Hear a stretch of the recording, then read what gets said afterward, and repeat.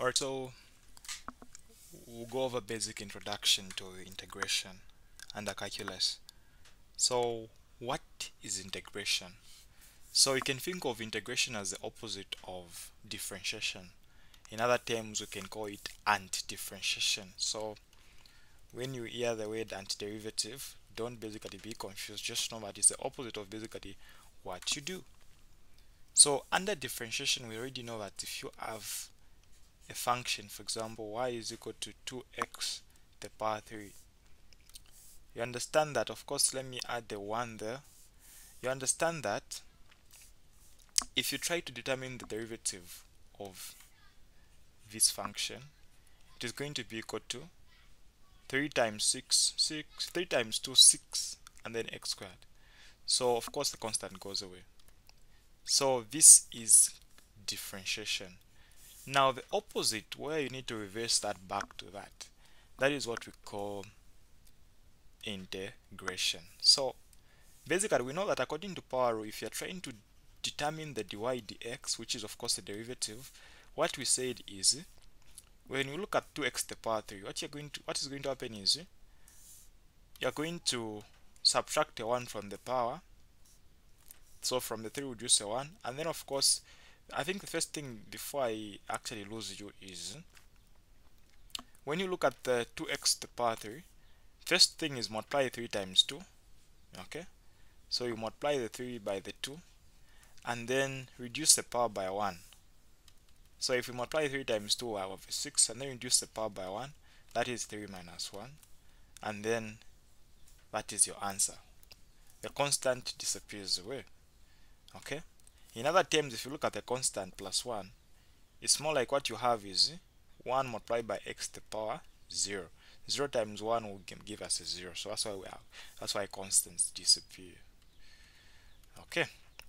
So of course, this becomes 6x squared.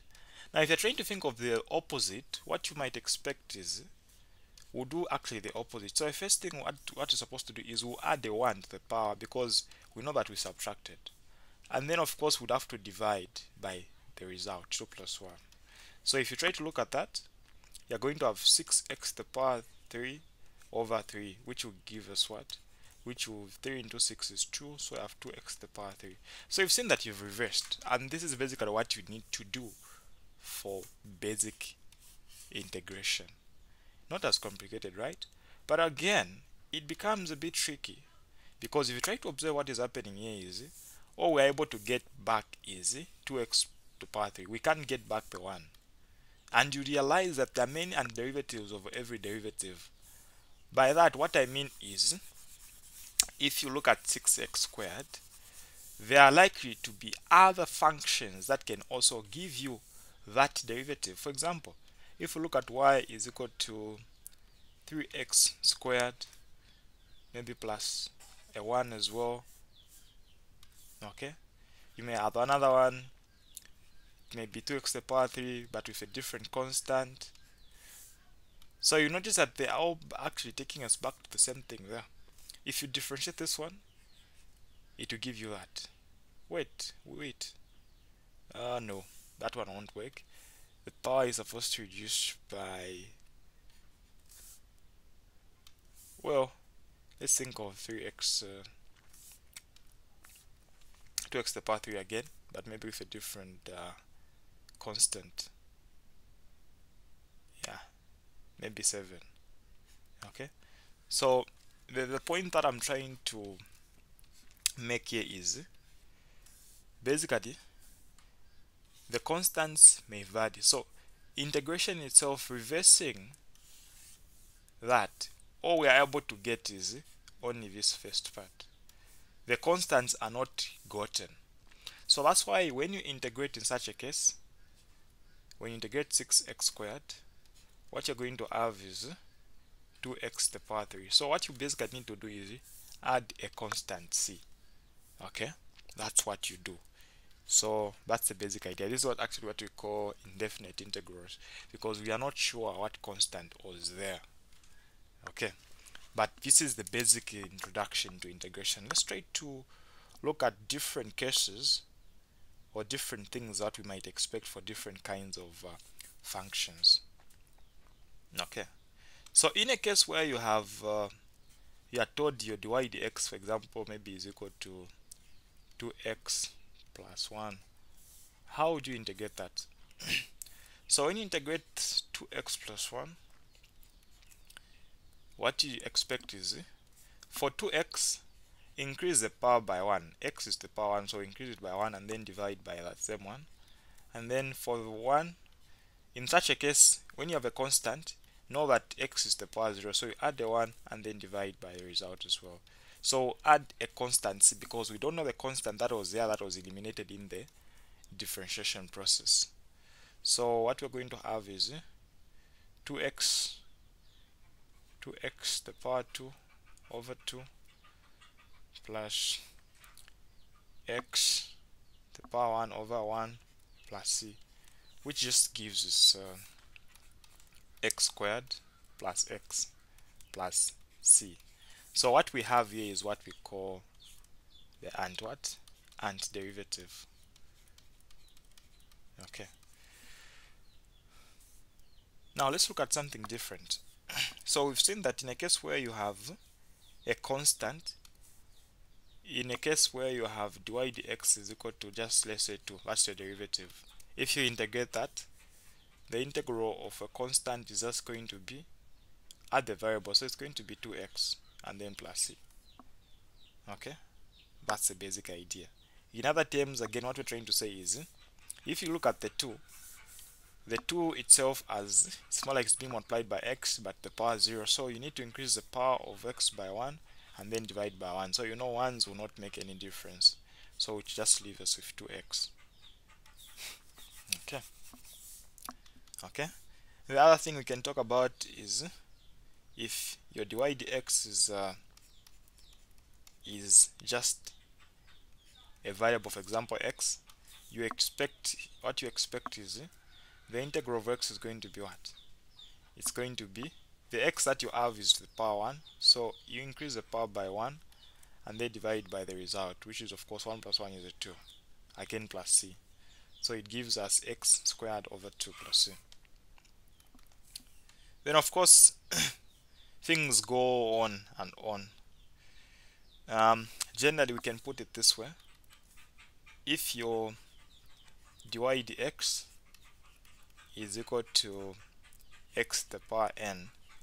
Uh, if that is the derivative integrating x to the power n is more like you increase the power by 1 and then divide by the result and then add a constant c. That's the basic formula for integration which is the opposite of what? Differentiation. Now one thing that you need to note is this only works in a case where n is not equal to negative 1 only when n is not equal to negative 1 why? Because if n is equal to negative 1 if you've got x is equal to negative 1 and then you get to add the 1 there and then divide by the result. So this is this makes it to be undefined. This is undefined. So we are trying to avoid such a case. Notice that i'm not saying that all negative numbers but i'm only saying negative 1 if you have a negative 2 for example it's going to work. Okay? But if you have got a negative 1 it won't work. So that's where you say that the integral of x to the power negative 1 which of course is more like the integral of 1 over x this is now where you get to have a natural log of x. Okay? Very important. This applies to all the other cases as well. You may have a case where you have the integral of x plus 1 raised to the power negative 1 even in such a case take note you can't add a 1 and of course divide by result. So it just becomes the natural log of the absolute value of x plus a 1 okay. Now just trying to make things a bit more interesting. The other thing that we know about in terms of differentiation we've looked at what we used to call we called it what um, we called it the chain rule so in a case where you have 2x squared uh, plus a 1 raised to the power 4 right? We understand that if you are to differentiate that the dy dx is going to be the yes of course the coefficient you have there multiplied by the 4 you have got a get a 4 and then the other thing that we need to do is we need to multiply by the derivative of what is in the brackets. So the derivative of what is in the brackets in this case derivative of 2x squared plus 1 gives us what? I believe we have a 4x so therefore our result becomes 4x and then you have oh 4 times 4x is 4x I think that is 16x and then we have 2x squared plus 1 and then of course let's not forget that the power reduces by 1 so it's the power 3 power 3 so basically that's what we we have in such a case. So when it comes to the reversing now assume you are taught to reverse 16x uh, 2x squared plus 1 to the power 3 how do you how would you handle that? How would you basically reverse everything?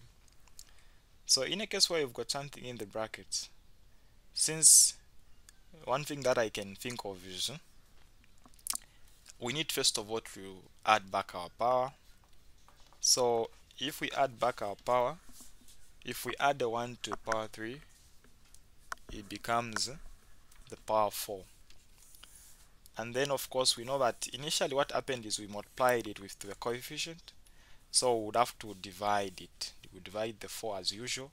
Then the other thing that we know is we multiply it by what is inside the bracket the derivative what is in the bracket. So here we are going to we're going to divide by the derivative of what is in the bracket. So the derivative of what is in the bracket is 4x okay? So let's don't forget there's a 16x there. So if we do basically get to divide on the bottom we're also going to get 16x so it takes us back to that. So that's how you can reverse some of these certain things. And I think this is where the of course you uh, look at more questions like that under your substitution. But that is just like an idea of what you need to know. And then I also introduce you to some of the basic uh, trigonometry differentiation. For example you've got sine of x. Uh, let me put it sine x squared so that you get the basic idea. So we know that if that is your y and then you try to differentiate it right? Your y prime is going to be as follows. So again take this to be what is in the brackets. So the derivative of of x squared is 2x so you're going to have 2x and then we'll maintain the entire other part as I believe as it is.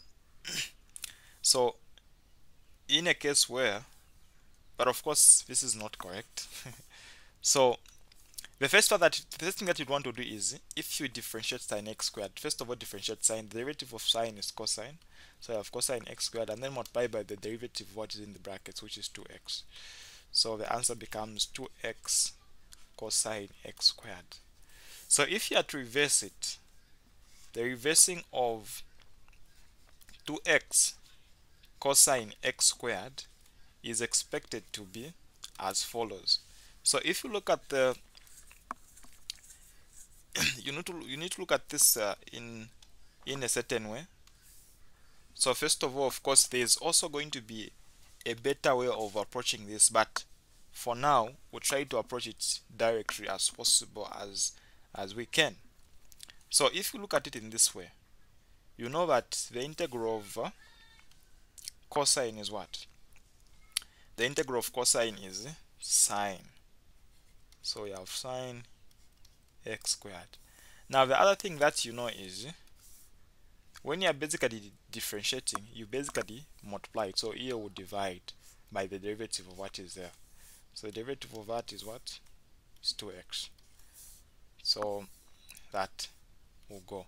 Now of course we'd have to add a constant c because we do not basically know if there was a constant initially there even if we in this case we're clearly able to see what was there so in other terms the general way of looking at this is if you have sine mx the integral of that is expected to be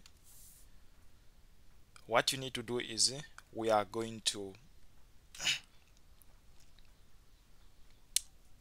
yeah. but of, of, of course in this case where we've got sine the integral of sine we understand that the derivative of sine is cosine right? So the integral of cosine is sine. Now we know that the in, the derivative of cosine is negative sine. So if we are to integrate a positive sine, it's like we're reversing we expect that it's going to be a negative cosine right? So we're going to have a negative cosine. Mx is going to be maintained and then we are going to divide by what? We're going to divide by the derivative of what is in brackets. So it's more like 1 over the derivative of what is in brackets which is just like m. In this case if you've got mx there. If you've got mx squared it will be 2m and then of course plus sc which is clearly what we also had in that case. So one thing that you're noticing one thing that you're seeing is for the sake where you've got the the trigonometric functions it's like what we have is uh, the u substitution as well or what we have is the chain rule. So we'll reverse it the same way.